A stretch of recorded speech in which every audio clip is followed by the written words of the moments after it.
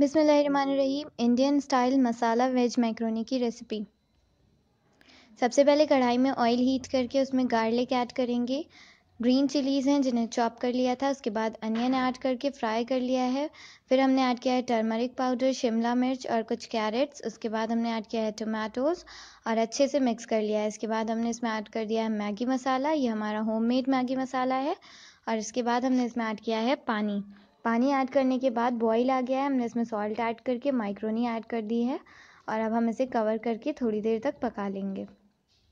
अब चलिए इसे ओपन करके देख लेते हैं। वाह हमारी माइक्रोनी बिल्कुल परफेक्ट तैयार है। हमने इसमें नींबू की चटनी ऐड कर दिया है और ये हमारे चैनल पर इसकी रेसिपी पहले से पड़ी हुई है, आप जाकर चेक कर सकते हैं। इसके बाद हमने इसे स्प्रिंग अनियन से सर्व किया है और ये देखिए कितनी मज़ेदार हमारी माइक्रोनी एक मिनट में बनकर तैयार है। वीडियो पसंद आई हो तो चैनल को सब्सक्राइब करके बेल आइकन प्रेस कर दें। अल्लाह हाफ़िज़।